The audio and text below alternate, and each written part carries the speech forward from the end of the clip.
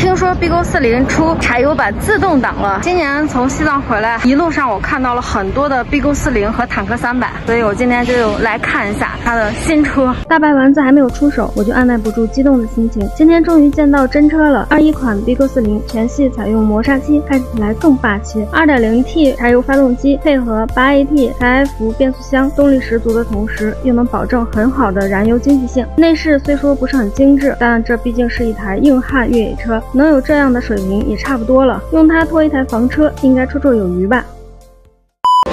啊，我现在已经到了展厅里了，给大家看一下，这个就是我比较中意的 BIGO 四零，这是柴油版的。啊，这个颜色很帅。啊，现在进去给大家看一下。这个就是柴油版 BIGO 四零的内饰，然后这是一辆新车，暂时没有办法试驾啊。这个视野啊前面就是比较比较高，就是宽的很。然后跟大白比的话，大白前脸比较短嘛，嗯，个子稍微低一点，抬高一点就能看到。这个座椅是皮革座椅啊，他们还有那个布椅。但是要加钱的升级款，等那个呃销售小哥过来，然后把这个打着，然后让我听一下这个柴油跟汽油的那个，呃有啥不一样？大概能看到这个做工整体还行吧。嗯，真的是咱们的国货越来越好了。现在感受一下后排，一百斤重的人上来看一下。看看，我小短腿儿，嗯，后排不是特别的宽啊。看我坐好以后，一个手掌就够了。然后这个宽度的话，就是一般般，正常车的那种。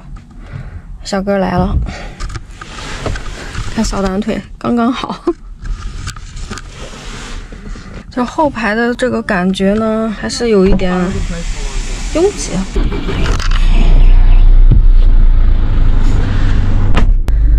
现在车辆是发动着的状态，大家听一下。